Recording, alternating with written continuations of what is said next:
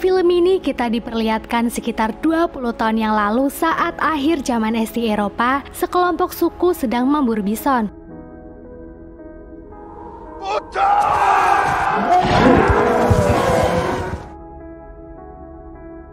Membuat bison yang takut memilih untuk terjun ke bawah tebing.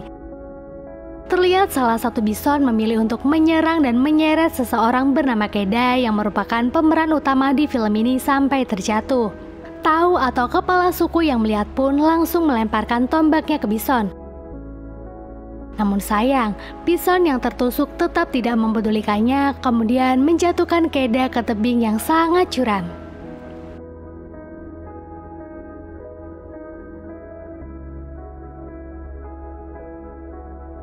Terlihat satu minggu sebelum kejadian, Tau dan pasukannya sedang menyeleksi anak-anak muda yang akan ikut berburu. Mereka memberi perintah untuk membuat senjata dengan batu yang dipahat. Hanya dua orang yang berhasil lolos. Keda merupakan salah satu dari orang tersebut. Mereka yang lolos kemudian dipukuli agar fisiknya kuat. Kini kita diperlihatkan bahwa Keda adalah anak dari kepala suku tersebut. Terlihat ayahnya sangat menyayangi Keda. Malamnya, mereka menggelar ritual bersama sebelum berburu besok. Hingga paginya, terlihat pasukan yang akan berburu sedang berpamitan dengan keluarganya masing-masing. Keda di sana juga berpamitan kepada ibunya yang terlihat sangat menyayanginya. Kini mereka memulai perjalanan berburunya.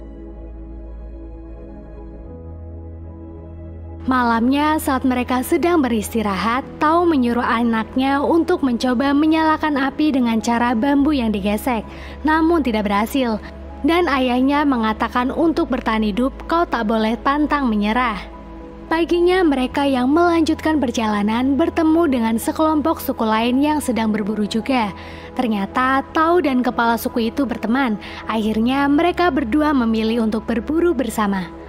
Tau juga mengenalkan Keda kepada temannya itu.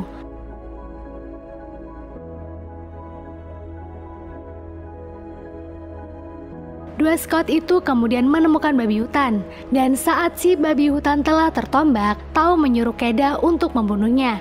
Akan tetapi, Keda yang kasihan tak sanggup membunuhnya. Si ayah yang kecewa kemudian berkata hidup hanya untuk orang yang kuat, dan dia pun menuntaskan babi hutan itu. Saat dua squad sedang menyantap hasil perburuannya, mereka terdiam dan mendeteksi ada bahaya yang mendekat. Membuat mereka semua kaget dan langsung berdiri. Tiba-tiba datang Sabertooth menyerang salah satu orang di sana. Semua orang di sana kaget, terutama Keda yang baru pertama kali ikut berburu. Hari berikutnya setelah mereka selesai melakukan upacara kematian, dua squad itu kembali melakukan perburuan. Mereka yang telah menempuh jalan cukup jauh memilih untuk beristirahat di gua. Terlihat Tau sedang memberitahu kepada Keda di bukit sana ada sekumpulan serigala. Pemimpin serigala itu bernama Alpa. Dia terus menjaga kawannya di atas yang lain dan sudah pasti dia selalu dalam bahaya. Menurut tahu, serigala tak dilahirkan sebagai alpa, tapi dia dapatkan itu dengan keberaniannya sendiri dan hatinya. Setelah itu ayah Keda juga memberitahu cara mencari petunjuk pulang menggunakan tangannya yang dihadapkan dengan rasi bintang. Hari berikutnya, ayah Keda yang menemukan kotoran bison menjadi semangat mengetahui target mereka sudah dekat. Orang-orang di sana kemudian mengoleskan lumpur di wajah dan senjatanya. Hi. Lanjut, mereka langsung menyerang bison itu. Kita diperlihatkan di mana awal film ini dimulai. Keda yang terjatuh dari tebing ternyata menyangkut di sebuah batu. Namun dia yang sudah tak kuat melepaskan tangannya. Dia terjatuh di antara bebatuan tebing sampai tak sadarkan diri. Ayahnya yang melihat Keda jatuh menangis terseduh-seduh. Sampai malam terlihat ayah Keda terus memanggil-manggil Keda berharap dia sadarkan diri. Hingga temannya berkata sudah waktunya kita pulang. Paginya dengan berat hati, Tau memimpin upacara pemakaman anaknya. Dalam tangisnya dia pulang bersama skuadnya dengan membawa hasil perburuannya. Nah, menjelang sore, datang burung mendekati Keda. menotol Keda membuatnya terbangun dari pingsannya.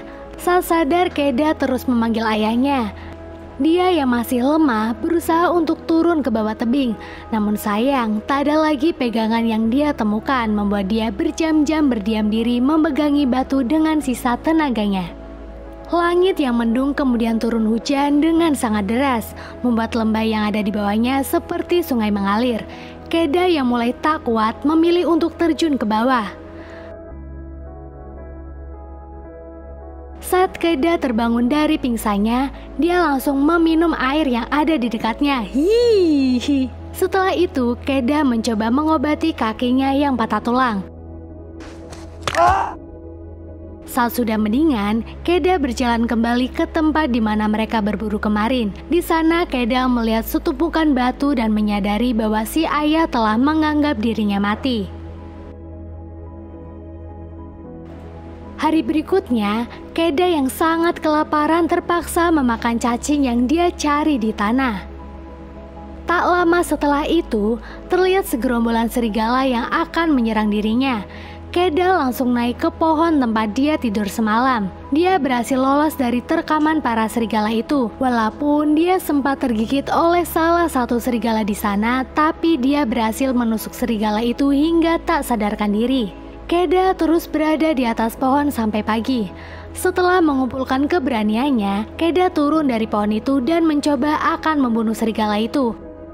Akan tetapi dia yang kasihan lagi-lagi tak dapat membunuh. Keda memilih untuk membawa serigala itu bersamanya dan mengikat mulut si serigala itu agar tidak menggigitnya. Nyau! Malamnya saat Keda sedang beristirahat bersama serigala itu, dia didatangi sekelompok hena membuatnya pergi dan mencari tempat lain. Keda akhirnya memilih untuk beristirahat di gua kecil, kemudian berusaha menyalakan api dengan bambu yang digeseknya tapi tak kunjung berhasil.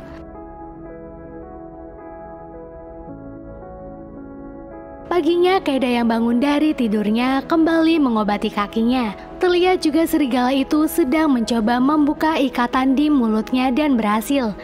Keda yang baik hati kemudian memberikan minuman kepada si serigala, walaupun dia masih sangat agresif. Keda yang mulai iba dengan serigala itu terlihat sedang membersihkan lukanya. Dia juga membagikan makanannya. Cacing lur simbok pangan kui. Kini Keda yang telah mempunyai jiwa pemburu berhasil membunuh seekor kelinci. Malamnya, dia berkata kepada serigala jika dirinya belum sepenuhnya memaafkan dia atas kejadian kemarin. Keda menambahi terserah dirinya akan memberi makanan kepadanya atau tidak. Tapi, karena kasihan melihat hewan di depannya melongo kelaparan, dia kemudian memberi daging untuk serigala itu. Walau telah duduk bersama, bukan berarti serigala itu sudah jinak kepada Keda ya lur. Tuh lihat. Lanjut, Keda kemudian meregangkan tangannya sambil melihat terasi bintang. Dia meminta petunjuk kepada roh nenek moyangnya untuk memberitahu arah jalan pulang, seperti yang telah ayahnya beritahu kepadanya. Dua makhluk itu sama-sama merindukan keluarganya, musim salju pun akan segera datang. Keda meragukan dirinya bisa pulang saat musim salju.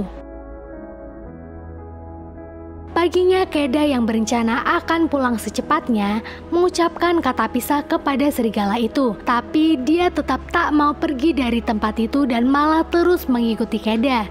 Berkali-kali Keda mencoba mengusirnya tapi tak berhasil.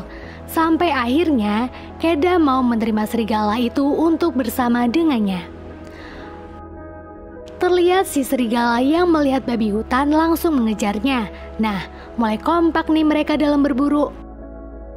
Malamnya, mereka memilih untuk beristirahat bersama di tengah hutan. Paginya mereka kembali berburu bersama dan Alpa berhasil mendapatkan hewan untuk dimakan mereka malamnya. Kini serigala itu sudah tidak agresif lagi dengan Keda. Terbukti saat Keda sedang tidur, serigala itu diam-diam mendekati Keda dan tidur di sampingnya. Paginya mereka yang telah akrab memilih mandi bersama. Di sana, serigala itu berhasil menangkap ikan untuk mereka santap.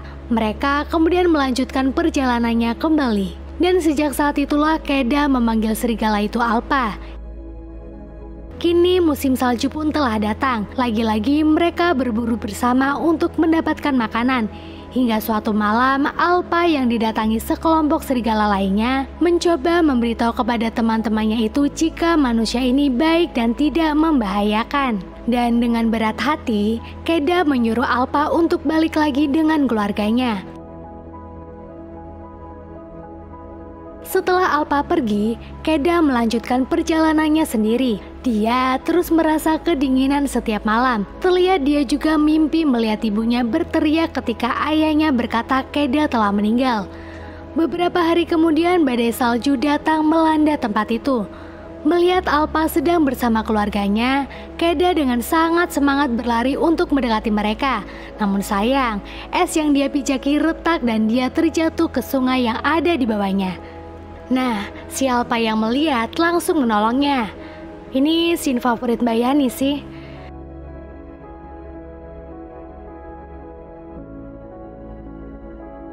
Dan semenjak itu pula Alpa tak lagi meninggalkan Keda. Keda yang sangat kedinginan berusaha untuk menyalakan api agar dia tak terkena hipotermia.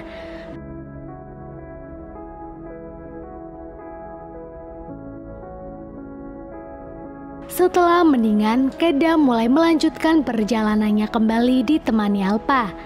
Di jalan, Keda sangat senang melihat ada seseorang di samping tenda dan langsung mendekatinya. Akan tetapi, harapan Keda hilang saat tahu orang itu ternyata telah meninggal.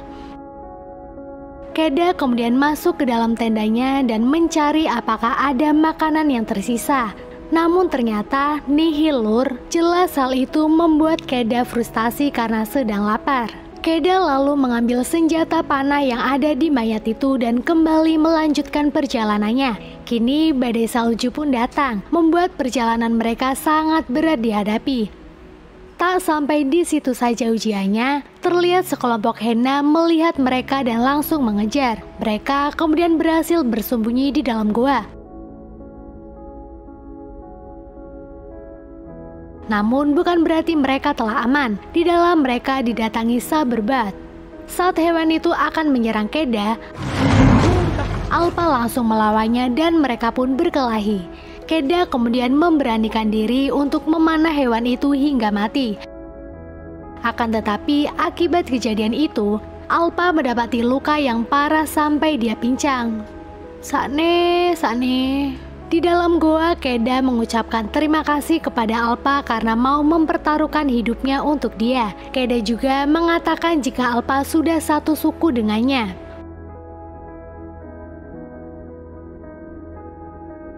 Mereka yang tak pantang menyerah kembali melanjutkan perjalanan untuk yang kesekian kalinya. Di sana, Keda berhasil menemukan setumpukan bebatuan yang dia lewati bersama keluarganya waktu saat berburu. Fisik Keda yang mulai memburuk membuat dia batuk darah sampai terjatuh.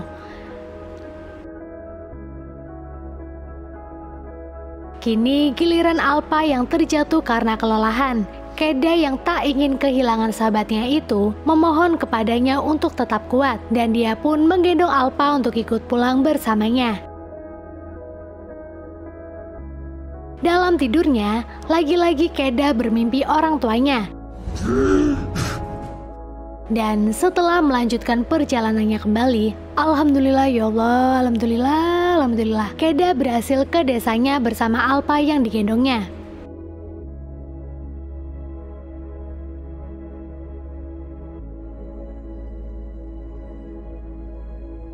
Tentu saja ayah dan ibunya yang melihat langsung memeluknya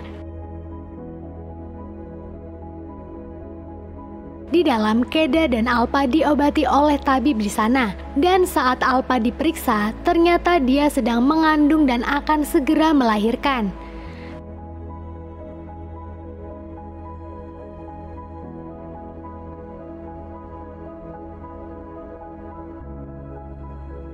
Semenjak itulah manusia dan serigala menjadi berteman.